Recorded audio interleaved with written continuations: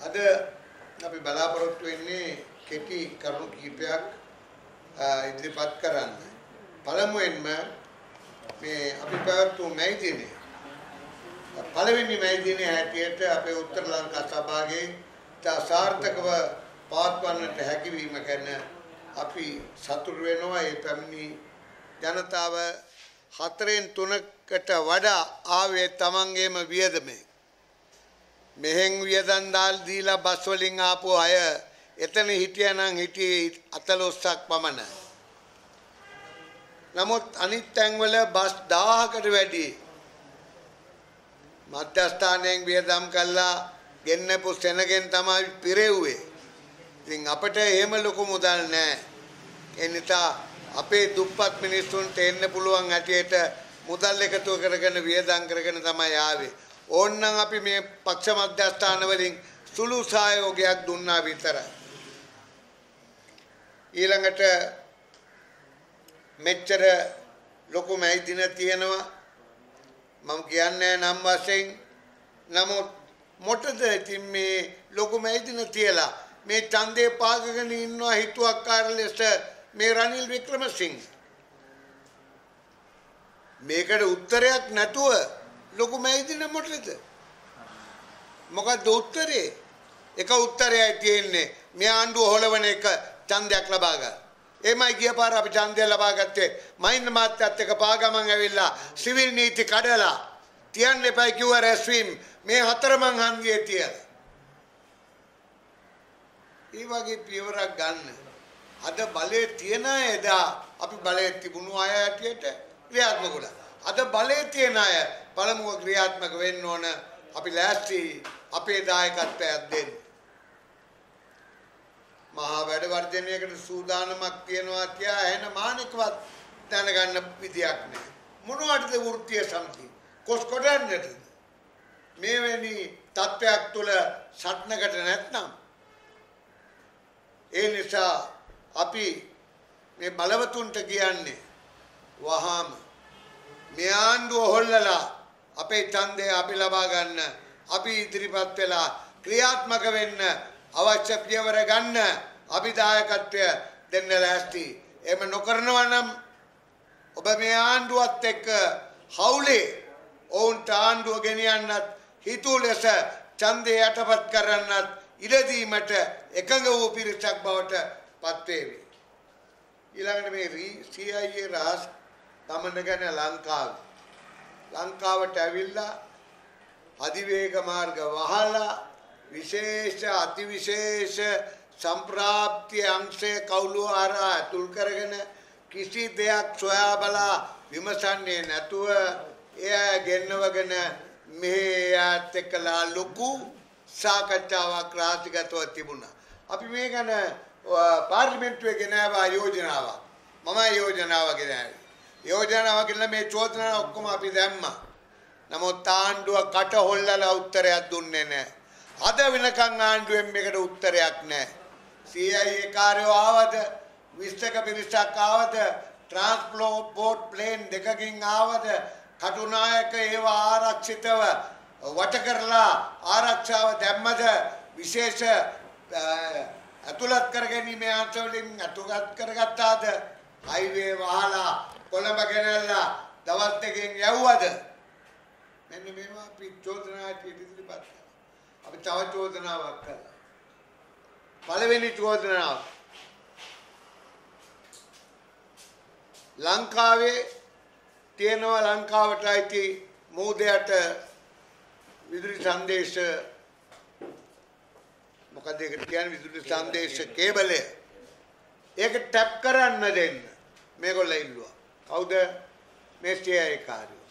රනිල් එකඟ වුණා. අපි කියන්නේ අවක්කීමක් ඇතුව. මෙයාට උත්තරේ එන්න ඕන. දෙවෙනි ඉල්ලීම උනේ මුරුදු කාංගයක් හයි කරන්න කටුනායක ගුවන් තොටුපළේ යන උදවියගේ තොරතුරු ඔක්කොම එහාට වාර්තා වේ. ඒකටත් එකඟ වුණා. තුන්වෙනි එක CIA ඔත්තු සේවය අපේ ජාතික බුද්ධි සේවයට උඩින් නියෝජිතෙක් තබා ඔහු වරහා ආණ්ඩුවට බුද්ධි තොරතුරු දීමේ යෝජනාව. ඒකටත් රනිල් එකඟ වුණා. රනිල් එකඟ වුණේ නැත්තේ එක කොන්දේසියකට හෝ එක ඉල්ලීමකට විතරයි. ඒක මම මෙතන කියන්න ඕනේ නැහැ. එකඟ වුණේ නැති නිසා. දැන් මෙන්න මේ නිසයි අපට IMF මුදල් හම්බුවේ. එහෙම නැතුව වෙන කෙහෙල් මල් එකඟතාවයන් නිසා නෙමෙයි. මෙන්න මේ තුනට එකඟ වීමත් එක්ක තමයි IMF එක දඩාස් කාලා එකඟත්වය දුන්නේ ඒගොල්ලන්ගේ ආධාර දෙන්න. ඊළඟට මම කියන්න කැමති හෙට දවසේ උදා වෙන බලවත් ආසියානු ආර්ථිකය ලෝකයේ ඒ තත්ත්වය තුළ ඇතිවෙන ඇමරිකා එක්සත් ජනපදයා යුරෝපා බලයට කරට කර ඉන්න ඒ වගේම ඒවා ඉක්මවා යන්න පුළුවන් ආර්ථික බලයකට අපි ආසියාකරය පැමිණ වෙලාවේ. ඉන්දු රුසියන් චීන රටවල් මූලික වූ ෂංහායි කෝපරේෂණය ඒ වගේම බ්‍රික්ස් සංවිධානය මේ ලෝකයේ අලුත් සාධකයක් බවට පත් වෙනවා. අලුත් ජාත්‍යන්තර මුදලක් ලෝකයට නිකුත් කරන්න සූදානම් ඒ මුදලින් ගනුදෙනු කරන්න ලෑස්ති ඒ අතර ඒ රටවල් වල මුදල් වලින් ගනුදෙනු කිරීම ආරම්භ කළා. නමුත් ලංකාව තවමත් ඩොලරයට වහල් වෙලා අපේ මහ බැංකුව. මම මෙතන නවත්තන. තිලක තින් සහෝදරයා හෙට බංග්ලාදේශයට යනවා දකුණු ආසියානු වෘත්තීය සමුළුවකට. ඒ ගැනත් ඊට පෙර සමුළුවක් ඒවයි තියෙන වැදගත්කමක් ගැන ඒ සහෝදරයා කියාවි.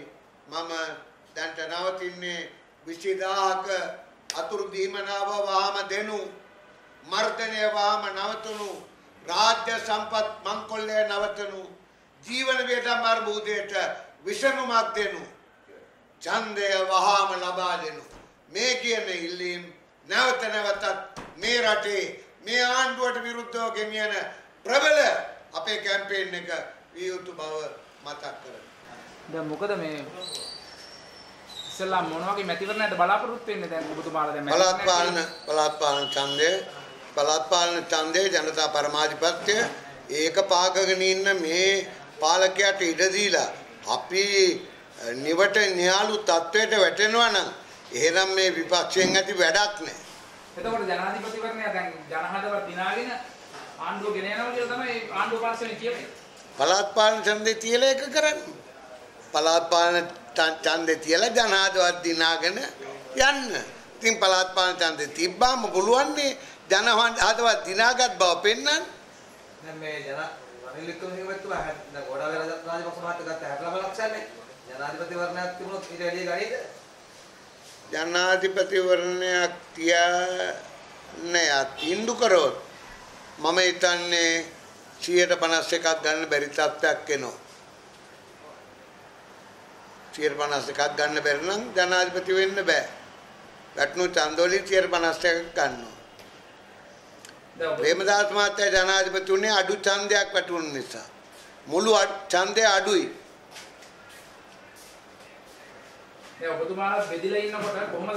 ඒක තමයි අපි කියන්නේ මේමනේ ප්‍රභේදයන් නොවැළැක්විය හැකි ආගම්වල උනත් නිකාය තියෙනවා. ප්‍රභේදයන් තිබීම නෙමෙයි වරද. එකතු වෙලා ක්‍රියා නොකිරීම. ඒකට ආරම්භක පියවර තියන්න ඕන වැඩි බලය තියෙන අය. කවුරු කවුරු හරි වැඩි බලය තියෙන අය.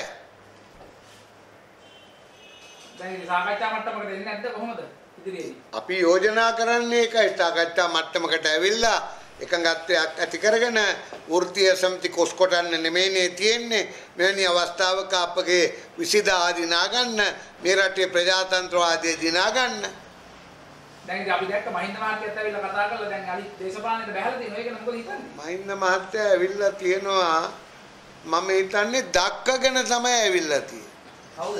මහින්ද මහත්තයාව කවුද? දක්කගෙන ඇවිල්ලා තියෙන්නේ ඉතින් බැසිල් හැබැයි ගොඩක් කට්ටිය උද්යෝග උද්යෝගයෙන් කතා කරා කෝට්ටුවේ මන්ත්‍රීවරුනේ. මෝට්‍රේ මන්ත්‍රීවරු උද්‍යෝගයෙන් කතා කරන්න කරවන්න තමයි බැසිල් මහත්තයා මෙයාව දක්කගෙන ආවේ.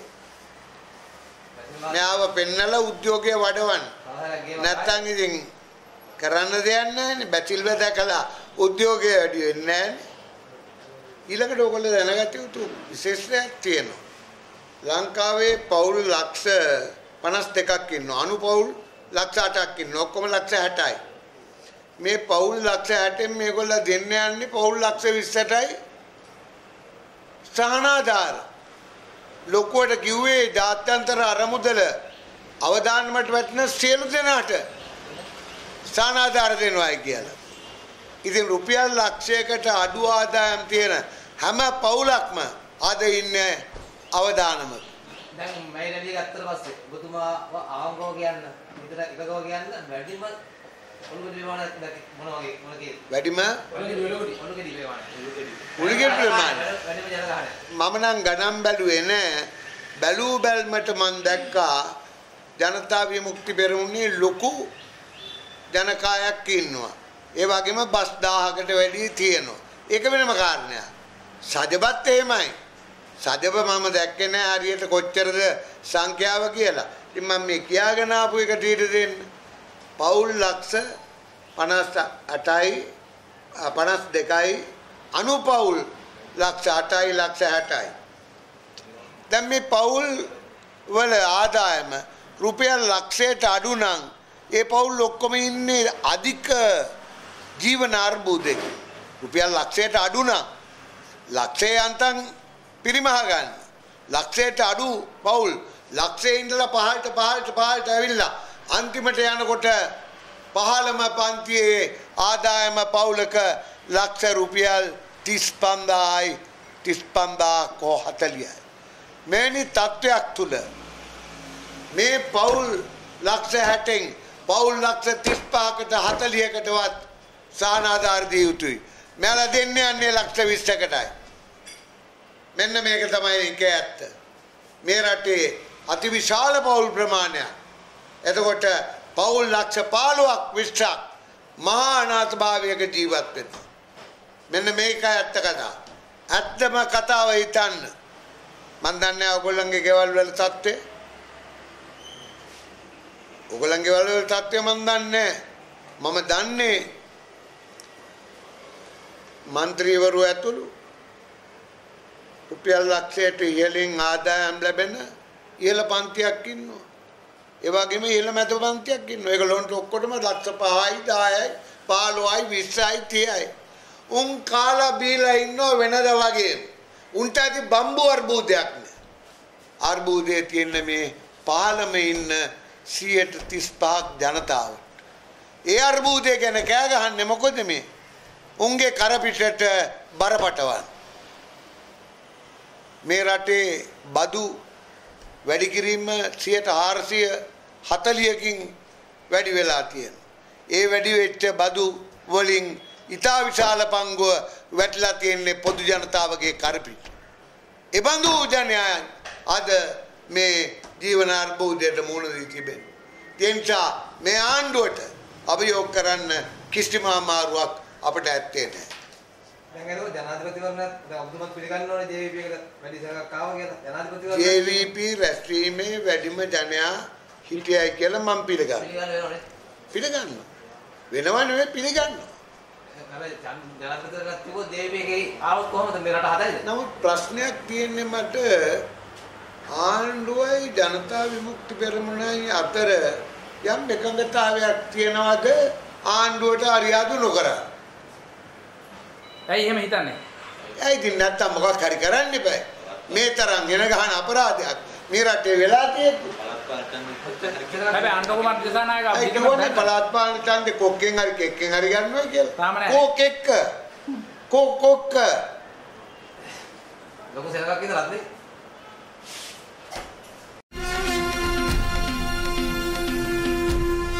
ලක්තිරණ පුවතකට එහාගේ රටගෙන කැක්කුමක්